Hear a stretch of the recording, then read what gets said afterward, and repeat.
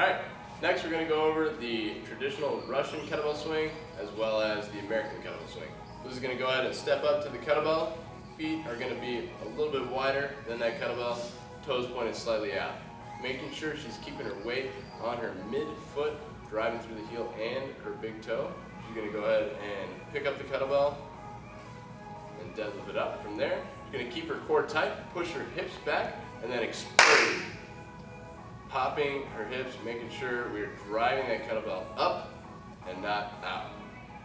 That's the traditional Russian swing. From there, you can also take it into an American swing where you simply bring it over your head to finish up that swing strong.